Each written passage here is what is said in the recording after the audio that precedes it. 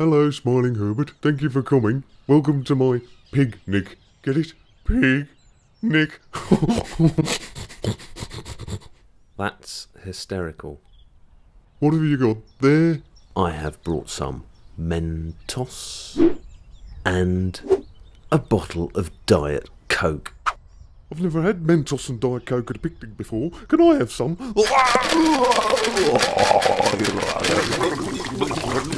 I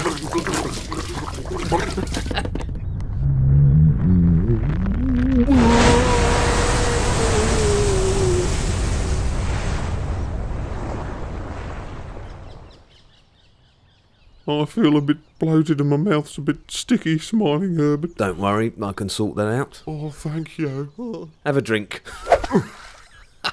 Uh, sorry.